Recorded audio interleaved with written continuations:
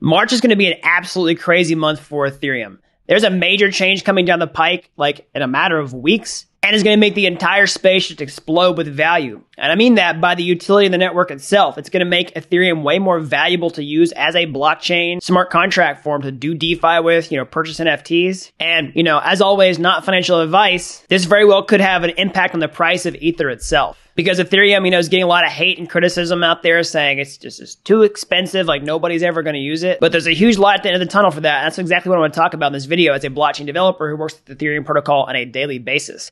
So before we get into that, you know, if you're new around here, hey, I'm Gregory, and on this channel, I turn you into a blockchain master. So if that's something that you're interested in, then smash that like button down below for the YouTube algorithm and subscribe to this channel. And if you want to become a blockchain master step by step from start to finish, then head on over to dappuniversity.com forward slash bootcamp to get started today.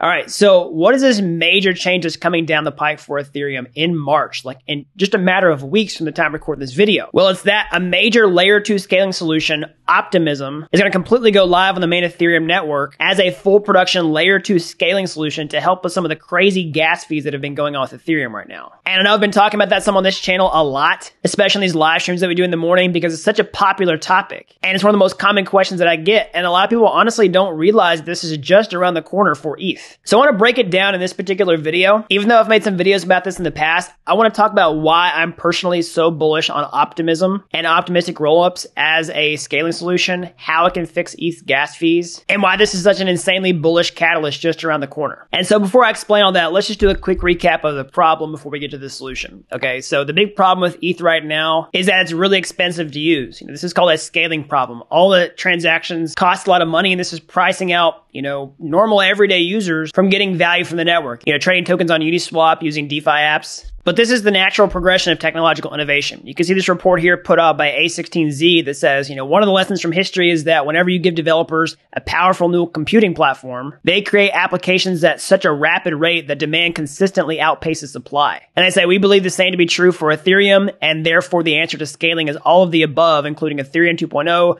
bridge layer ones and layer two solutions. So we'll talk about, you know, more of those here in a second, but I want to focus on layer two because that's the quickest way to really make this problem a lot better. Well, it basically means creating a new layer on top of Ethereum that you can transact on top of that derives its security from the base chain. That's what a layer two scaling solution is. And there are lots of different solutions out there, but the one that I'm so excited about is optimistic rollups. And one implementation of this optimism is launching in full force in March in just a matter of weeks. We saw this tweet come out recently. They said they hired the dopest rock stars in town. They've expedited their timeline. Mainnet will be open to the public in March. So Optimism's already had its soft launch and we've seen, you know, different implementations of Optimism in a few different applications. You can see here uh, the demo they did with Synthetix Exchange, which reduced gas costs by 143 times. And then also uh, the Unipig exchange, which was a testnet demo of Uniswap itself running on optimistic Ethereum with layer 2. And this decreased gas cost by 10 to 100x. And so you can see this testimonial here from Hayden Adams, the creator of Uniswap himself. He says, Imagine not needing to make any changes to your Solidity smart contracts to have a dApp work natively on an Ethereum layer 2 with security from Ethereum, massive scaling, no data availability issues, and synchronous interoperability with other dApps on L2. So if that sounds kind of confusing, and goes way over your head. I'll explain a lot of that here in a minute. But the important thing to see is that this is a huge endorsement from Hayden, the creator of arguably the most popular dApp on top of Ethereum right now. And it would not be surprised me if they use Optimism, you know, optimistic rollups for Uniswap v3 whenever it rolls out. Now, I don't know that for sure. We'll have to wait and see, but that's my hunch. All right. So now let's talk about why I'm so bullish on this particular layer two scaling solution. All right. But before we do that, let's talk about like what a rollup is that you can understand. And then I'll talk about the big benefits. So a rollup is basically just batching transactions together and including them onto the base layer one chain, like all at one time with, with some delay. So think about the scaling problem with Ethereum right now. So basically, you have all these people who are trying to generate transactions, whether they're sending cryptocurrency from one account to another, they're interacting with smart contracts on Uniswap, buying NFTs, et cetera, et cetera. And they're all just trying to get into the network at the same time. Okay. And that creates this massive demand that that jacks the gas prices up because that's how gas prices work. It's a supply and demand model.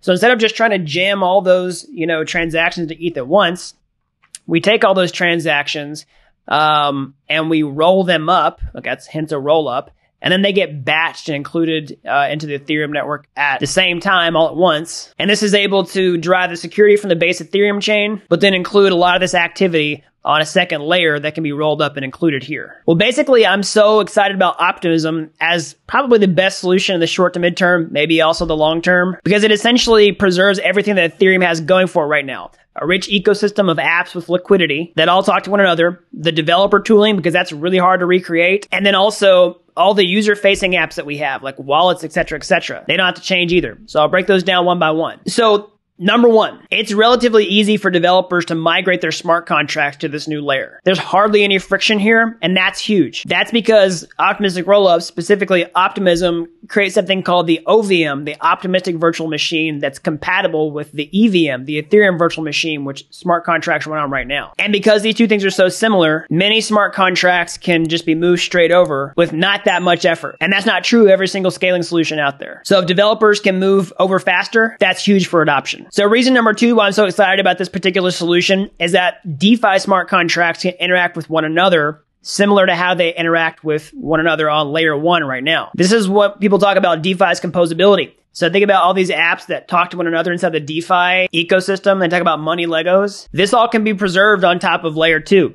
Because don't forget, one of the biggest things the Ethereum platform has going for it is its network effect. Like nobody wants to use a blockchain where there's no liquidity, no other users, no other apps. And Optimism essentially preserves this by making it possible to migrate that over to layer two. So reason number three is kind of similar to, to number one, but it's a little bit different. And that's the developer tools basically don't have to change. You know, we talked about it's, you know, relatively easy to put smart contracts on top of there.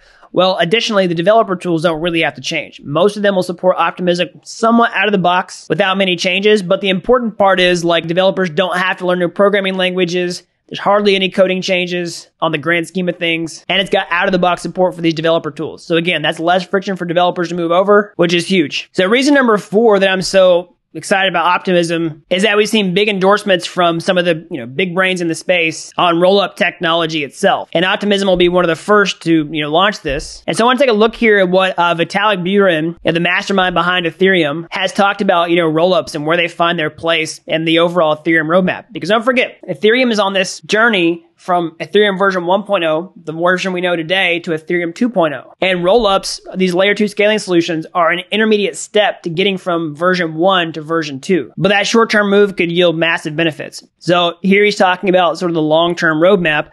But, uh, you know, he has some concerns, et cetera, et cetera. But let's just focus in on this. He says today, you know, Ethereum has about 15 transactions per second, you know, give or take.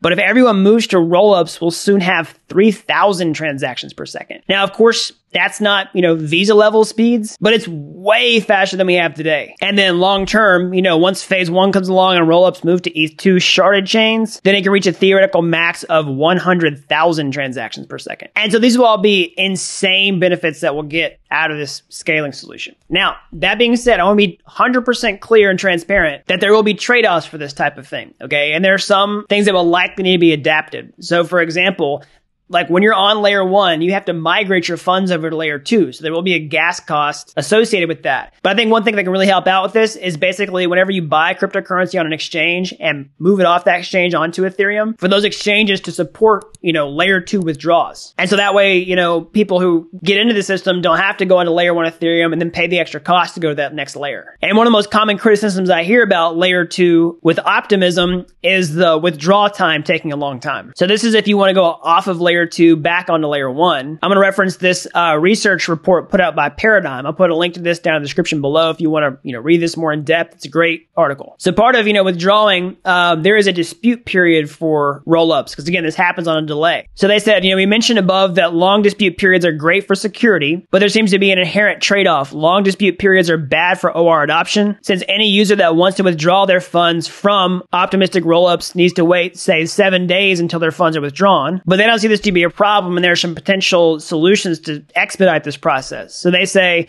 due to this potentially large withdrawal delay, we expect market makers to jump in and offer faster withdrawal services. This is possible because someone who validates the L2 stake can correctly judge if a withdrawal is fraudulent or not and hence buy it at a small discount for their services. So example, you know, Alice has five ETH on L2 Bob has 4.95 ETH on layer one and a market maker smart contract and is running a verifier on the L2. So step one, Alice lets Bob know that she wants a fast withdrawal, offering him a 0.05 ETH fee. Alice initiates a withdrawal to Bob's market maker smart contract. And so Bob can either check the withdrawal and see if it's valid on L2 and approve the fast withdrawal, or Bob's verifier alerts him that transaction is not valid and he doesn't, you know, process the withdrawal. And so this is a way that, you know, Alice could get her funds instantly, assuming that she's honest and was significantly cut down on the withdrawal time. All right, so that's why I'm so incredibly bullish on optimistic rollups shipping on Ethereum in March. Again, this is huge. It's going to significantly cut down the gas cost for the Ethereum network right now. Now, that being said, you know, always keep in mind, this is not financial advice. I think this can be a really bullish catalyst for the price of Ether, but there's no guarantees of that happening. But it will greatly increase the value of the Ethereum network itself, which I think long term will correlate with the price of Ether. And another thing to keep in mind, while this solution is coming out very soon, it still may take some time for applications to move to this new layer. I did talk about how there's all this reduced friction for developers to do it, but those applications still have to, you know, be tested, go through some sort of alpha phase. And so we don't know exactly when we're going to see, you know, this wide L2 adoption. Now, I'm going to go back to my original prediction, which I said in January, which I think we will have wide L2 adoption in 2021. I think that's a big enough timeline to see this happen. But I wouldn't necessarily assume that, like, let's say this ships on the 15th of March, that the 16th, you know, Uniswap v3 rolls out and, you know, the world goes nuts. Now, it could happen, but as always, you know, you just want to temper your expectations. So that's all I got for today. As always, hope you like this video. Smash that like button down below for the YouTube algorithm. Subscribe to this channel if you haven't already. And if you like this stuff, you're as fascinated with this technology as I am, and you want to learn how to become a blockchain developer today, well, how can you do that? You go to my YouTube homepage, you can find any of my free courses there. They're like Udemy courses, but they're totally free. And if you like those, you go into the next step so that you can you know, land a high paying job, become a freelancer, you know, build your own project. Uh, then I can show you how to become a blockchain master step by step from start to finish over at dappuniversity.com forward slash bootcamp. You don't have to be an expert to get started today. I've helped people with zero coding backgrounds become you know, real world blockchain developers in a matter of months. All right, so that's all I've got. And until next time, thanks for watching Dapp University.